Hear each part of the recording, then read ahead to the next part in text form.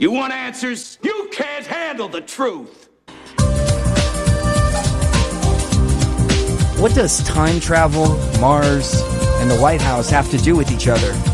Well, Andrew Basiago is a prominent figure in the truth movement. For more than 10 years, he has shared with the American people the true facts of our great nation's accomplishments in time travel and Mars visitation. He has done so as somebody who served bravely in two secret U.S. defense projects in which time travel on Earth and voyages to Mars were first undertaken. As a result of his courageous um, advocacy as a crusading lawyer, Andy's credited with ending the time travel and Mars cover ups by the U.S. government on behalf of the American people. He is now running for president of the United States, as a matter of fact. That was a brilliant introduction, Chris, because it's all true. You're asking us to believe that you went to Mars essentially in in 1981, beginning in 1981, in in a device in New York City and near Los Angeles, devices in which a conventional elevator had a dual use and morphed into a jump room that when you got there 20 minutes later, millions of miles, it opened up and you were in the sub basement of a U.S. facility on the red planet. And now, in addition to that, you're asking us to believe that the president did so, that he was one of your same aged peers who was part of that that element, that that program in the secret space program. So the problem is that we were compelled to reveal the truth because look, if we concealed the fact that Obama was involved and he later was connected to the project, we would have been accused of spinning the truth. People would have said, well, you know, you worked for the CIA when you were in the jump room program. You weren't paid, you weren't benefited, but that's who was running it. That's who was administering the program. You were all selected for different reasons. We were in a bit of an epistemological dilemma as whistleblowers. If we revealed the truth that Obama was one of our contemporaries in the program, I mean, he's only 45 days older than me. And in fact, William Cameron McCool, the the later space shuttle astronaut who was also one of the Mars jumpers, was five days younger than me. So Barack and Willie and I were kind of in the the median age group of that group. The average age, in fact, was 17 when we started training. If we told the truth, we protected the validity of the story as it really happened, but we made ourselves uh, vulnerable to the charge that, look, this is beyond belief now because now you're linking the sitting president. But the problem is that that's the truth of what happened. We were in the Mars Jump Room program with a young Barack Obama using the name Barry Soetoro. And you know something else about the story? He's the president. the individual that he asked to plant that story denying his involvement, Tommy Vietor, was at that time the spokesman for the National Security Council. That implies that the NSC, consisting of the president, the vice president, Mr. Biden, the Secretary of State, uh, Secretary of Defense, and then the National Security Advisor and Assistant National Security Advisor, vetted the question of whether or not and how they should respond to our true information that Barack Obama is essentially a former astronaut of this country, that he was a direct participant in the secret space program. So we went forward with the truth. It provided ample opportunity for ridicule. I was ridiculed on the, the, the Stephen Colbert report. It's been kicked around the internet. MSNBC picked it up and declared that William Stillings and I were former government employees, even though we were never paid, never benefited under the GI Bill of Rights, while being having our records kept by the Navy, by the way. In any case, that's the situation we were in. If we if we told the truth, we did the right thing. We preserved the truth of the story, but if we lied to avoid that giggle factor, we would not have told the truth. And so that's that was basically what happened there with the with the Obama Mars story. It's a true story. I had mentioned it on Coast to Coast AM on the 11 10 11 show, and that that triggered the um, the article coming out in Wired.com where the National Security Council basically denied what could have readily, readily been dismissed as an urban legend. How do you think the mainstream media would react to something like Project Pegasus? We've seen the fact that the mainstream media is not competent to report the truth. Look at the fact that when the Obama Mars story broke, they had three individuals, myself, William Stillings, and Bernard Mendez, who lived in different states at the time Washington, California, and New York. They were different types of guys. One was a lawyer admitted to the federal bar, that's me, uh, the uh, United States District Court for the Western District of Washington, practicing at the state and federal level. Then there was basically Brett is a, a tech geek, right? He's a brilliant technologist. And then Bernard was a career intelligence officer. And the mainstream media had the opportunity to interview us to determine whether or not Barack Obama was a former astronaut, and none of them called. So, how can I censor myself from revealing the fact that time travel was achieved by our government if the mainstream media is not even reporting the true past of the President of the United States? Well said. In 1971 72, I was provided martial arts training. It was basically a mix of Aikido and karate, mostly defensive in nature, to protect myself physically when I was time traveling. That martial arts instruction was developed in a recent face to face meeting between William Whitecrow and I in, in Northern California, where he lives, actually at his residence, was validated. In other words, we established that he was my martial arts instructor because William had been my instructor in Project Pegasus, but it gets it gets more interesting. I then encountered yeah. William again on Mars. He was one of the army guards who was protecting us on Mars. When I was visiting his, him, what about a half year ago, at his home in Northern yeah. Cal, we recalled that there was we were standing next to a a kind of a Quonset hut on Mars, and he was describing how another team had been interdicted by these pterodactyl like predators, and there was a real threat to some of our people's survival on the surface.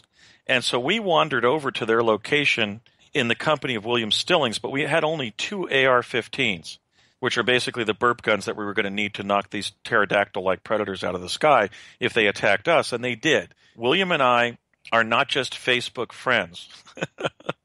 we're former no. co- we're former colleagues who stood back to back and protected ourselves and, and Brett while about 20 pterodactyl like predators were actually dive bombing us, and William threw me an, the AR 15. William and, and I saved each other's lives and Brett's life uh, many years ago 30 years ago, 35 years ago, by basically 1982 83 time frame, yeah. by standing back to back, knocking pterodactyls out of the sky as they were dive bombing us on Mars, and we're not making it up. So I'm now bringing William Whitecrow forward as a fifth Mars whistleblower, a fifth Mars jump room whistleblower. Wow. wow. When I encountered him on Mars, I didn't recognize him as Bill, my martial arts instructor from Pegasus. and I was only able to put two, those two things together in 2015, and now we're bringing it forward publicly. After I asked William to come forward to, among other things, help my presidential campaign because somebody of Williams' dedicated and distinguished service on behalf of the United States Army goes a long way to establish that I'm telling the truth about the development of time travel and Project Pegasus, and then the covert history of Mars exploration that was undertaken by a very young and brave generation of Americans 30, 35 years ago. And William mm. was one of the people who I'm very grateful for because he was keeping us alive on the surface. That is absolutely amazing. William, um, this is, you know, the first time we're discussing any of this, and I think the first time that you've discussed any of this in public. What was the recruitment like?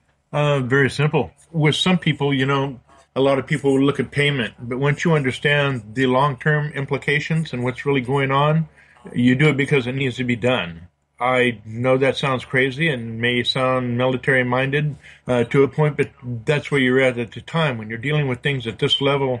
And, and that, you know that's how come I always told you guys and other people there's more to the to the story about what's really going on on Earth and and everything else. The recruitment was was they wanted the good people, but they wanted the people that would think think, not just follow crazy orders okay, this is your team, this is what you go do, and this is how you do it. And once somebody's put under your care, uh, nothing's going to touch them. You know, there's many different, everything is compartmentalized. You know, Andrew is an individual and Obama, and, and there's a lot of people of history that have gone to, how do you think people get to where they are? You know, everybody thinks and turns around and goes, okay, well, everybody's put there. Now you understand a bigger picture. Andrew, myself, and, and actually many other people, and hopefully more more will come forward as time goes on, uh, have dealt with experiences that most people, even in their lives, don't know about. When Andrew came here the first time, and talked to me on my compound here. And then I told my wife right after he left, uh, mentioned the name Karen and, you know, things of this nature. And she got tears in her eyes and started to cry. Let that be an example of what he's talking about, the truth of it. What's going to make a person do that? My wife knew about it. That was it but she understand the implications of what this meant, you know, because I haven't talked in many, many, many, many years or to anybody about this kind of stuff. But this is what's really going on out there. That's why when you mentioned earlier in the show when I was on before this one, I said, if you, you people out there want to know the truth, uh, the question is, can you handle it?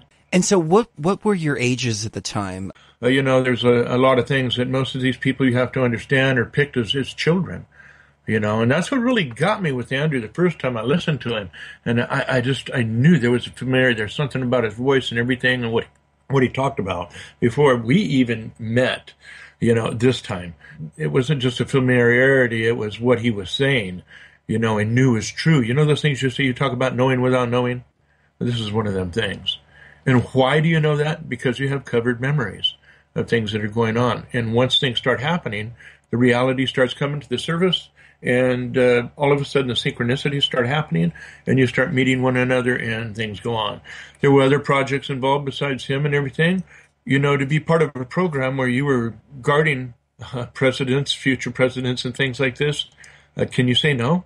Chris i think that uh, just to estimate because i was a child i was 10 i turned 10 in on september 18th of 71 and mm-hmm. that's when william was my martial arts instructor that year that fifth grade year and then I encountered him yeah. ten or eleven years later. So he was initially around eighteen. I think I think William has yeah. eight years on me, seven or eight years. So he was either a recently discharged Vietnam uh, era mm-hmm. ar- army soldier, and and then he was teaching young people in these special access programs how to defend themselves. Yes, another thing that we want to think about here too is when you're put in these programs, you're usually when you leave the military or uh, they will turn around and grab you within a military, degrade you, and put you in, a, in, a, in another program. That's the way that the military works. Nothing is as it seems. It never is. If they discover one project name, they'll just change the name, compartmentalize it, move, compartmentalize it, and move it somewhere else.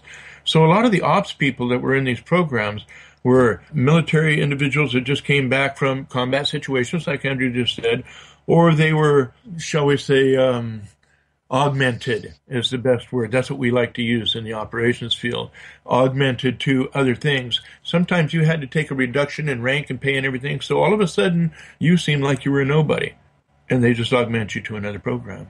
And I, they do that with a lot of people out there. Absolutely. Chris, can you see the adamance by which I addressed Obama's deception? I mean, we were not just yeah. on Mars, but in this instance that we're describing, William and I protected the three of us from a direct attack by basically yeah. about 20 flying dinosaur era like creatures. So once you've done that, I like to say that, you know, even sitting in a traffic jam on the San Diego freeway is cake, right?